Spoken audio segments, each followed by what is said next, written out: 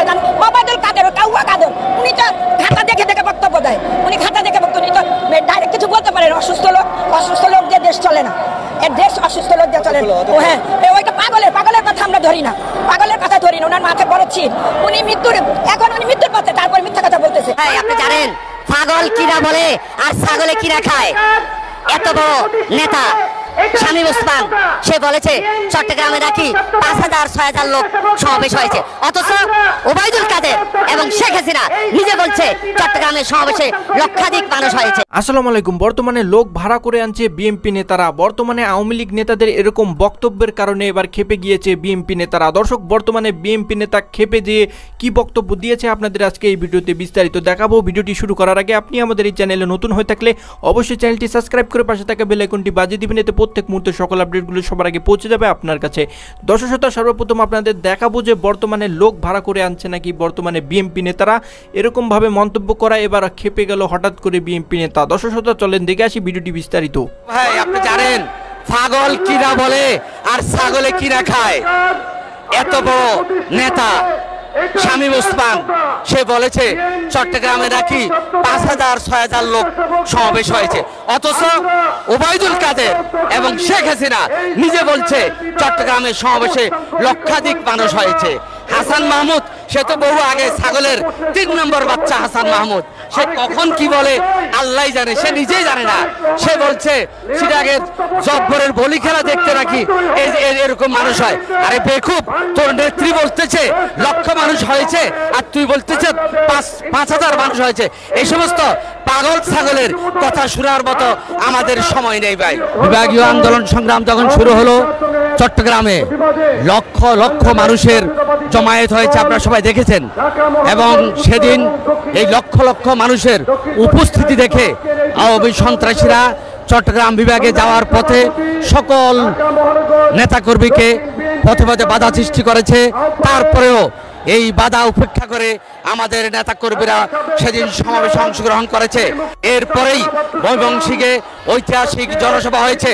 ময়মনসিংহের সৃষ্টি থেকে আজ পর্যন্ত এত মানুষের সমাবেশ কেউ কখনো ঘটাতে পারেনি। বিএনপি সেটা ঘটিয়েছে।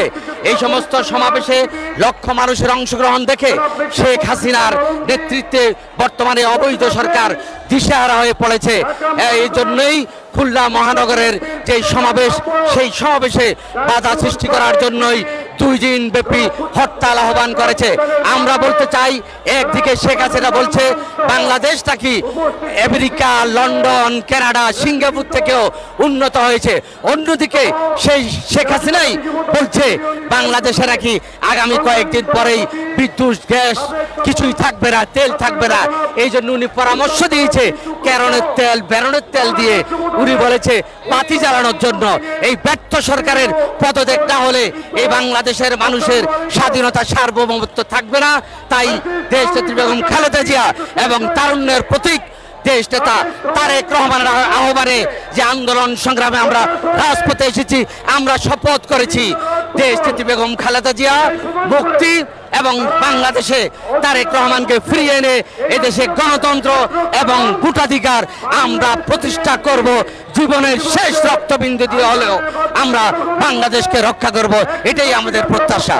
দশই ডিসেম্বর, সারা বাংলাদেশের সমাবেশের পরে ঢাকা যেই সমাবেশ আহ্বান করেছে, এই সমাবেশের অবস্থা দেখে শুনে আওয়ামী লীগ এখন থেকে পাগলের মতন বকতে শুরু করেছে।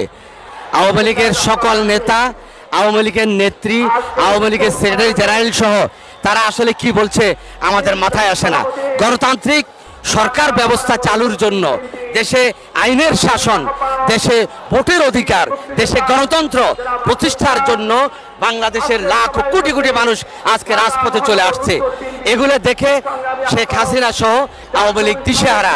আমাদের বক্তব্য একটা এবং স্পষ্ট, সেটা হলো এই দেশ নেত্রী বেগম খালেদা জিয়ার নেতৃত্বে, শহীদ জিয়াউর রহমানের নেতৃত্বে যেমন, যেমনি দেশের স্বাধীনতা যুদ্ধ হয়েছে, স্বাধীনতার ঘোষক বহুদলীয় গণতন্ত্রের প্রবক্তা শহীদ জিয়াউর রহমানকে আমরা আমাদের আদর্শের নেতা মনে করি এবং সেজন্যই আমরা এই দেশে গণতন্ত্র এবং ভোটের অধিকার আদায়ের জন্য দশই ডিসেম্বর বাংলাদেশে গণ বিপ্লব সেদিন সংগঠিত হবে।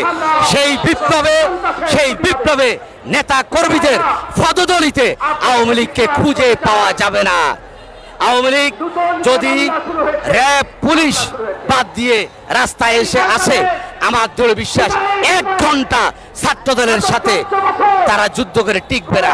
এই পাগলদের কথা আমাদেরকে বলে নেই।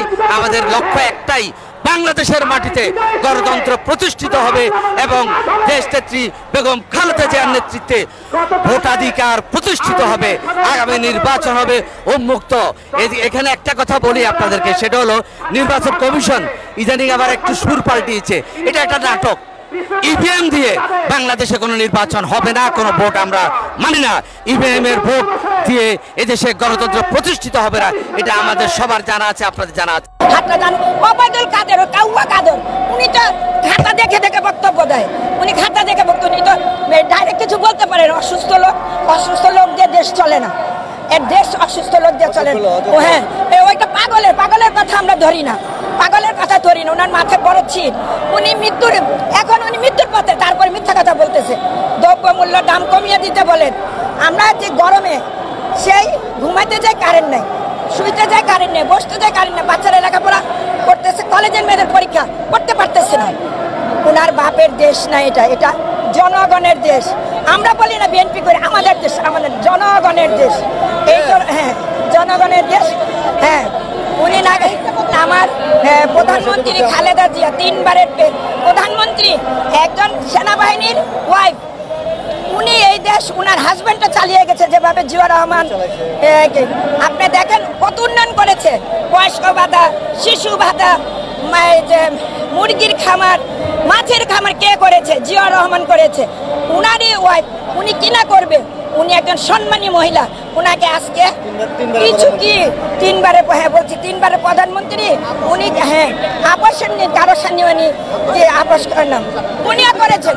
উনি আমাদের জন্য হ্যাঁ ধানের শীষকে ভোট দেবে। উনি খালেদা ধানের শীষকে ভোট দিবেন উনি চান আমাদের আমলে বিশ টাকা তিরিশ তিরিশ টাকা কেজি চাউল ছিল পঞ্চাশ টাকা কেজি চাউল এই তেল ছিল।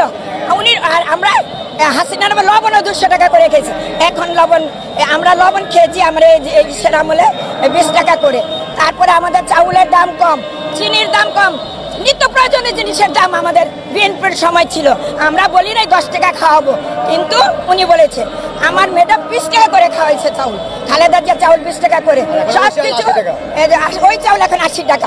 আর সব কিছু উনি কম কম দিয়ে দিচ্ছেন কম করে দিচ্ছেন হাসিনার কথা মনে হলে শরীর দশশত একদিকে বিএনপি নেতারা বলছে তাদের সমাবেশে লক্ষ লক্ষ মানুষ হচ্ছে, অন্যদিকে আওয়ামী লীগ নেতারা সেটাই অস্বীকার করছে এবং বলতেছে যে সেখানে নাকি কোনো মানুষই নেই। দর্শক, এরকম ভাবে মন্তব্য করায় হঠাৎ করে খেপে গিয়ে বর্তমানে শামীম ওসমানকে ধুয়ে দিয়েছে বিএনপি নেতা। দর্শক, এই সম্পর্কে আপনাদের মতামত এবং এই ভিডিওটি দেখে আপনাদের মতামত অবশ্যই আমাদের কমেন্ট বক্সে জানিয়ে দেবেন। আজকের মতো এতটুকুই, দেখা হবে আবার নতুন অন্য কোনো ভিডিওতে। আসসালামু আলাইকুম।